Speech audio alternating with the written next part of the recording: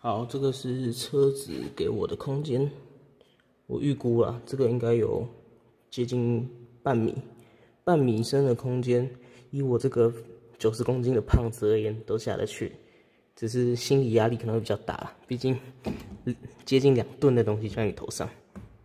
好，继续开始吧，带你们看一下底下长什么样，可能拍的不是很清楚，因为这一根就是排气管头段。在我正头顶，好看一下。这个传动轴，这是传动轴，所以这一颗连过来的，就是联合差速器，变速箱跟差速器合在一起。好，那我们今天的主角换机油，就这个油里壳，这颗放油螺丝是十四号 millimeter 的。那另外一边可想而知，应该就是变速箱的，但这次没有要换。好，那就准备开始。那记住，这个是机油，引擎在正常工作温度大概九十多度，这个机油也是九十多度哦，不要直接摸，你一定会被烫伤。记得等车子凉一点再开始工作。好，那我们开始吧。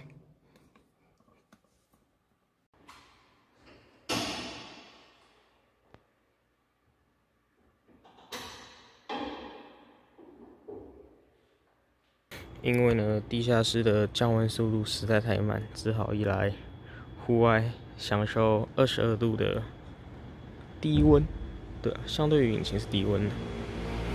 把车子开来外面二十二度的地方降温，真的是有差。刚刚在地下室，这个机油加注盖死都打不开。现在出来外面，十分钟我就打开了，这是还蛮烫的，所以可想而知，等一下那个机油倒出来一定超级烫。那我就再等个十分钟好了。好，我现在是打算等水温。大概再掉个两格，再来开始换，因为去前面引擎盖那边，其实还是算蛮有温度的。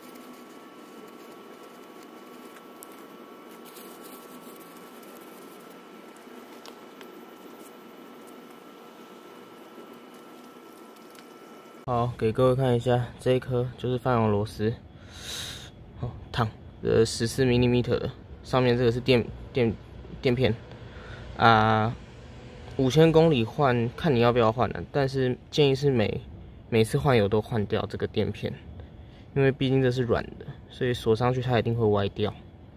但我想说五千公里就算了，一万公里再去换。然后这就废气机油，大约四公升。啊，这台 Previa 是要加四点一，但其实差不多加十公升就够了。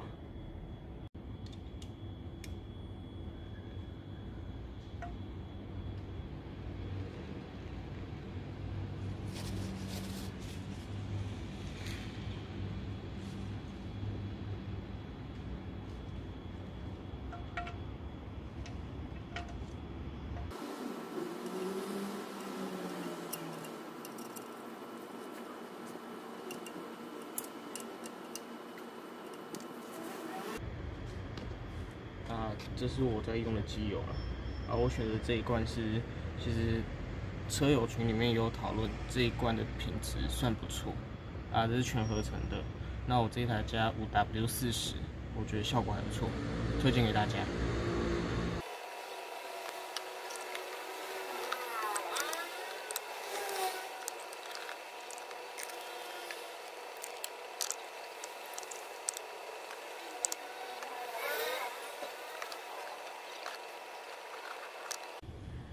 刚刚把机油加完了，那接着把周边擦一下，然后就可以盖回。好，那最后教大家怎么看你加完的油量到底够不够。那理论上机油量尺是黄色的标志，来，这个拉起来有点长，啊，记住拉起来后的这个油位。不是准确的，所以拿一个不是棉布的东西，因为它避免有一些碎屑进入那个曲轴箱油底壳那里，所以先擦干净，擦干净以后再放回原来的机油夹住的位置，那边那个机油量尺的孔这里。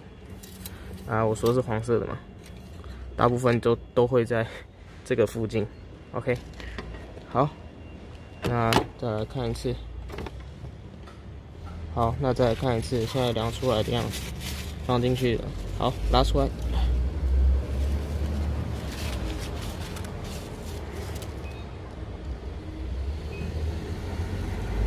看得到吧？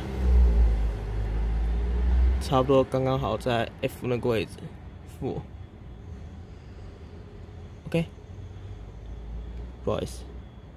就差不多刚好在负那个位置啊，看到吗？就是金黄色的位置，金黄色刚好对得到这里。诶，对焦没对到，啊，算了，没关系啊，反正就是它会有一个标示 F，F 就是负满，所以只要看到你的油位差不多在附近就好了。啊，如果你真的想知道差多少的话，其实原厂手册都有写这个尺的 range 是多少。我没记错，我这一台这个 range 是。一点五公升还是零点五啊？反正我记得是有一定的误差值啊。但至少只要在最底线的上面都 OK。好，那这样的话就插回去，表示你完成了九十趴。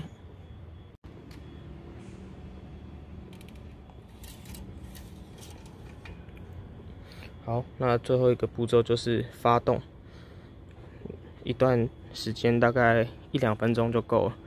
然后车子移移开我这个停车斜坡之后，到油底壳底下的位置确认有没有漏油，如果没漏油，就表示 OK 正常，那就表示你换油保养完成。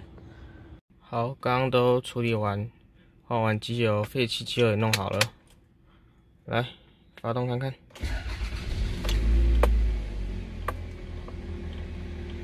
好，等个几秒。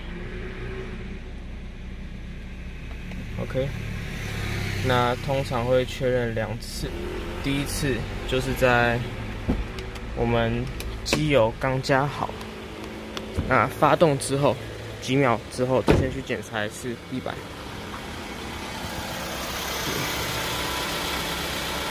好，没有漏油的情况，表示第一关通过。